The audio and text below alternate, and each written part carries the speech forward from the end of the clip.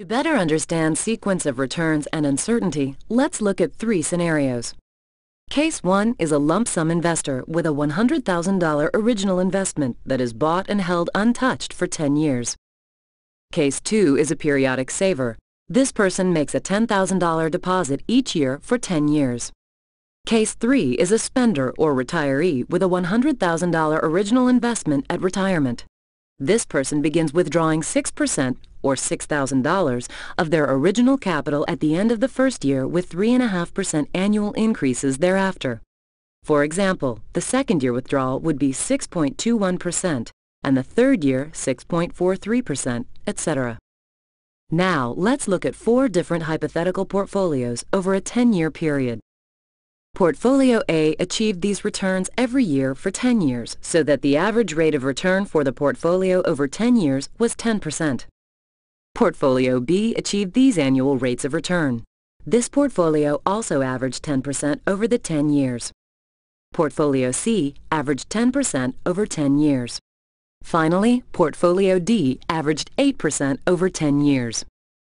Now, let's combine our investors. Remember the lump sum investor, periodic saver, and spender with the portfolios we just saw and look at the results. Portfolio A achieved 10% each year, so for cases 1, 2, 3, these are your ending balances and you see the compounded rate of return indicated next to the ending balance. So for cases 1, 2, and 3 with Portfolio A, all cases compounded at 10%. For Portfolio B, the compounded rates of return are much different than the average rate of return. And for Portfolio C, the same differences occur between the average and compounded returns. The differences in compounding for portfolios A, B, and C are a result of the actual sequence of annual return and not the 10-year averages. Now what do you notice about these sequences? Portfolio A has no variability in annual sequence. Portfolio B has negative returns early in the sequence, and Portfolio C has negative returns late in the sequence. In Portfolio D, let's focus on Case 3, comparing portfolios B and D. It is possible to have an investment average 8% return and finish with a higher value than a 10% average return due to sequence of return and cash flow differences.